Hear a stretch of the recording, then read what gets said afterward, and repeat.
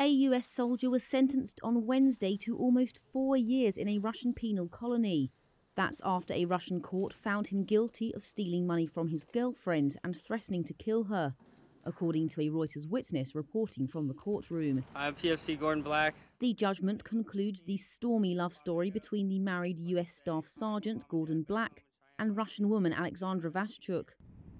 Black was detained on May the 2nd in Russia's far eastern city of Vladivostok after an argument with girlfriend Vashchuk, whom he had met while in South Korea. A judge found Black guilty of stealing $113 from Vashchuk's purse and threatening to kill her. Prosecutors said that during an argument at Vashchuk's apartment, Black had grabbed her by the neck and then took the $113. Black argued that Vashchuk had drunk half a bottle of vodka that day, was aggressive, and had struck him. Vashchuk told reporters that the incident started with a, quote, simple domestic dispute, after which Gordon got aggressive and attacked me. I don't want him to be treated harshly. You must understand this man is sick and needs medical care. Everybody has known that for quite some time. Black pleaded not guilty to threatening to kill his girlfriend, but admitted he was partially guilty of taking the money, though out of necessity. Black's wife Megan, who is back in Texas and is soon to be divorced from him, described Black and Vashchuk's relationship as tempestuous. Megan told Reuters last month that she and her daughter she shares with Black had witnessed violence between him and Vashchuk during a video call. His defense lawyer will appeal the verdict.